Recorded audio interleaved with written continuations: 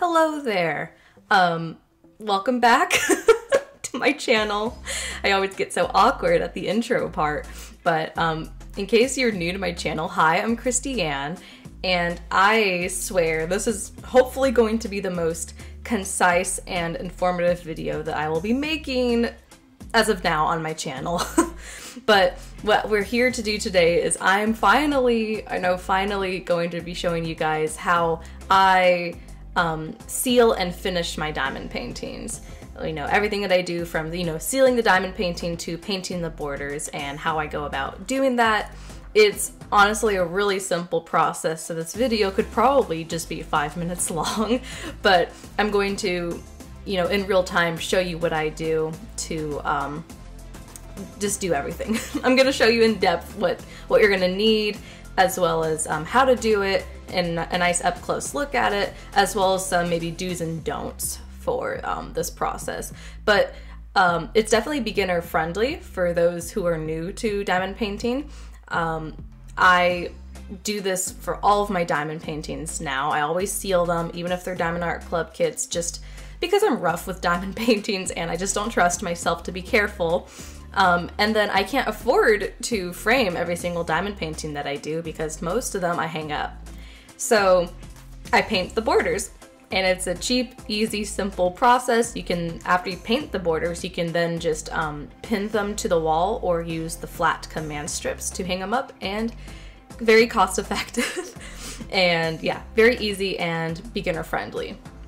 So without further ado, let me go show you guys what you're gonna need to get started on this. The very first and probably most important thing you're going to need first is a finished diamond painting. so this is Star Maker, and this is what I'm going to be using as an example to show you guys how I do this process. You're also going to need the glue that I use, which is the Tombow Mono Aqua Liquid Glue. I'm going to have this as well as all of the other um, products linked down below in the description for easy access. I buy this off of Amazon. It's usually three to five dollars a bottle, but I usually buy them in bulk because you can save money by doing so. For the gluing portion, you're also going to be needing an old toothbrush. Please use a toothbrush that you never ever use again. So I only use this for cleaning or craft related stuff. Now onto the painting portion. The paint that I use is the Black Apple Barrel um, Matte Paint. This will also be linked down below. It's a very um, cheap and affordable paint and it gets the job done. And the last thing you're gonna need is of course a paintbrush for painting the borders of your diamond painting and you can use a large paintbrush like I typically do, but I just dropped it. Um, but you can, um, if you want to paint very close to the diamonds without worrying about getting paint on them, a smaller paintbrush would be the best way to go about it. Perfect, so now that you know what tools you're gonna need, I can now take you up close and let's start sealing this painting. So here we have our lovely diamond painting. Um, I have it partially rolled out right now, but the very first thing that I'm going to do is, especially for square diamond paintings, um, I'm going to kind of take my hand and feel off the entire, like, like take a feel over the entirety of the diamond painting to make sure that none of the drills are um, pushed upwards. And if I feel any, I'm just gonna press them down. I don't feel any because this is a Diamond Art Club kit and the quality is amazing. but I also do this for um, round kits. I give it a feel, make sure all the diamonds are in place before I start sealing them. Just makes my life a little bit easier. So, so I'm going to be sealing off this section for you guys. But now that I know that the drills are placed down there and I'm ready to seal it.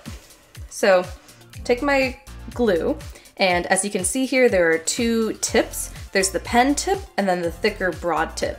I always use the broad tip for this. So you're just gonna twist it off. And this is a older glue, I guess an older this is an older glue that I've used before, so there's not much left. So I just peeled off the, the gross excess dried glue, but it's now ready to go. So I'm making sure that all the glue is at the bottom towards um, where the broad tip is, since we're using that side. And now I can go about sealing it. So the way that I approach this is I'm holding the glue pen. I'm so awkward right now. So I'm holding the glue pen and you're gonna lightly squeeze it until you see some glue start to come out at the tip. This looks very, um, you know, I'm not gonna say it, but it, we're just gonna go ahead with this. So as, as you squeeze and some of the glue starts to come out, I bring it down to the diamond painting. Come on, glue. There we go. And as, a, as it starts to flow out, I squeeze with a consistent pressure the whole time, and I go back and forth in like a, almost like a snake-like pattern. And I just go back and forth a little bit, and then I let go, wipe off any of the excess glue on the diamond painting. And then I take my toothbrush, I make sure that the bristles are um, not stiff, give it a little rub, and then I go in there and I start doing circular motions to get the glue to not only spread out evenly, but to also go in between the drills on the diamond painting.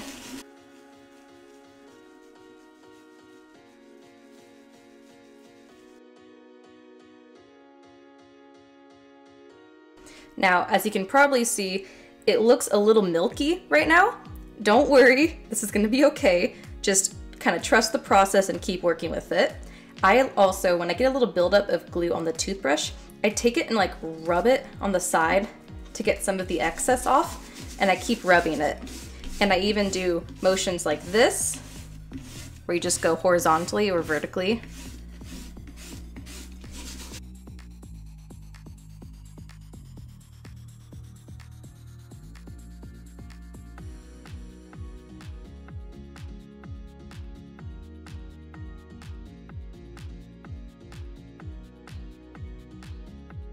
But yeah, like I said, this glue does dry clear, but fair warning, it is entirely possible to put too much on there, let it glue or let it dry when it's puddled up in certain areas, and it can have a milky look if you're not careful. Now, it's very clear to see when you put too much glue on because it kind of puddles over the drills. And as you can see from me just continuously rubbing and playing around with it, it's been like only, I think a minute since the glue has been put on there and you can see it's already clear, like clearing up. So if after like a few minutes, especially like five minutes, if it still looks milky, you need to keep working with it because that's how you can allow the glue to dry and it has a milky con consistent look, which is not what we're looking at looking for. So yeah, so just from me playing around with it and working with the glue, um, I'm very confident that this is going to dry um, transparent and it's going to look beautiful. As you can see, it already looks good. I can barely tell that there's any glue there. And once it's fully dry, you won't be able to tell as well. So now I'm going to go ahead and seal the rest of this painting off camera, but I'm to want to show you something that you want to do after you're done sealing your canvas with your toothbrush, you're going to want to almost instantly when you're done using it, take it to your sink and use soap and water to get as much of the glue off. Because if you don't do this when the toothbrush um, or when the glue on the toothbrush dries the bristles are going to be very stiff and you may not be able to use the toothbrush again. So pro tip if you don't want to have to go through toothbrushes um, definitely clean this with hot soap and water as soon as possible. Any type will do. Regular dish dish soap. Regular regular dish soap dis oh my god I can't talk regular dish soap. Will work fine or hand soap just any type of soap to get the glue to come off. Okay now that we're all done sealing the painting the next step we're going to do is we're going to seal this not seal it. The next step we're going to do is we're going to paint the borders now. So I'd recommend using maybe a, like a disposable like solo cup or Dixie cup, but I just use a mug. Um, if you do use like a ceramic um, mug or cup, just be sure to clean it as soon as you're done so that the paint doesn't dry and cake onto your mug. So I'm just gonna squeeze some paint in here. So now I'm just gonna take my paintbrush, get some of that good old black paint. Just going to literally start painting on there and this is pretty satisfying and fun to do. Um, what I typically do is I usually put paper towels underneath the edges of the border so that I don't get paint on my counter. And that's, that's typically what I do. I'm not doing that in this instance, but I'm just painting along. There's a hair caught on there. And we don't want that. Come here. So you're just gonna keep painting. Recommend putting paper towels under there so that you don't get paint on the counter. If you don't mind that, then just be sure to wipe off the paint off the counter as soon as possible once you're done. And I'm going to show you that, or what I'm doing now is I'm going in here and I'm painting right up close to the drills on top of the excess glue. And if you're not careful, you can get paint on the drills. I always get a little paint on the drills and for me, I don't mind a little bit of paint. You can use um, a wet paper towel to immediately wipe off the paint, but you can always, I, I believe, use a Q-tip dipped in um, nail polish remover to gently lift off that paint if you get any on drills and that really bothers you. You can also go ahead and like put tape on the borders of where the diamonds like end, but that just takes a little too much time for me. So, and that's, I don't do that. So I'm not gonna show you guys how to do that, unfortunately, because I've also never tried it. it sounds like too much work for me and I'd rather just be very careful and I'm not a perfectionist, so I'm okay if there's a tiny bit of paint on the drills because once this is hung up, you're not gonna notice the paint on the drills at all. So, but that's just a personal preference. You can totally take this method and morph it and change it to however it works best for you. So you're gonna paint all, the entirety of the border then you're gonna wanna let it dry because once this dries, it's gonna look very patchy. So with this paint in particular, maybe there's a all matte black paint where you only need to do this in one coat, but at least for the paint that I use, I do this in two coats and I you have to make sure that the paint dries in between those two coats. So I'm gonna let this dry and then we're gonna finish painting the border.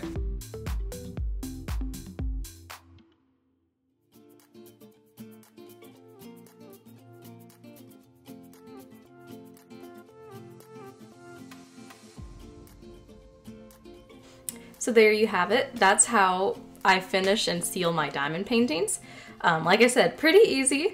If you guys have any clarifying questions, please feel free to leave them down below and I'll do my best to answer them fairly quickly. um, as I like I like I said, I will be leaving every all the tools down in the description below, links to them and everything. So hopefully you guys can try this out. Let me know what you think. Um, but yeah, hopefully this was helpful. Like I said, so shorter video, but you don't really need to make a tutorial vid video really long, do you? so hope you guys liked it. Um, leave a thumbs up if you did. Um, again, questions down below in the comments. Okay, I'm done. um, but yeah, thank you guys, and I'll see you in the next video. Bye!